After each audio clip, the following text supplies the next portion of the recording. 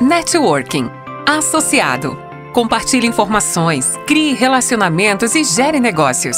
Este benefício é um dos mais usados e procurados.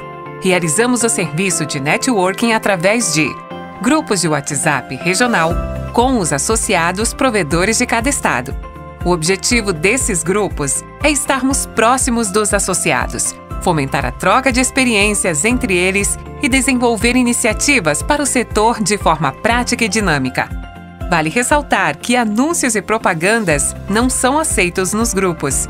Além do WhatsApp, temos dois grupos de Telegram, o Abrinte Oficial e o Abrinte Negócios. Os dois possuem amplitude nacional. O grupo oficial tem como objetivo fomentar a troca de conhecimentos e experiências vivenciadas por cada provedor.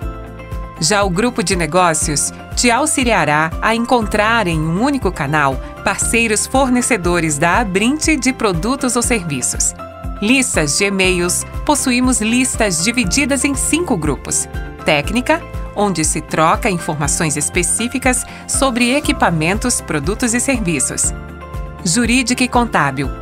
Apesar dos atendimentos individuais serem feitos pela área restrita do associado, a lista jurídica contábil é uma forma coletiva para perguntar ou noticiar atualizações sobre os assuntos que possam impactar as operações. Associados para troca de informações e comunicação com a Brinte. Parceiro fornecedor para fazer cotações com diversos fornecedores por meio de um único envio de solicitação. Para envio de cotações na lista de e-mail, recomendamos que coloque seus dados, contatos de e-mail e telefones. Nunca compartilharemos dados dos integrantes das listas. Respeitamos os dados conforme a LGPD e você pode cadastrar até três e-mails na lista para enviar ou receber mensagens. Para se cadastrar no sistema das listas, grupos e começar a usar o benefício do networking, entre em contato com o nosso relacionamento ligando no 61 3039 1060 ou mandando uma mensagem no nosso WhatsApp 61 99663 0370.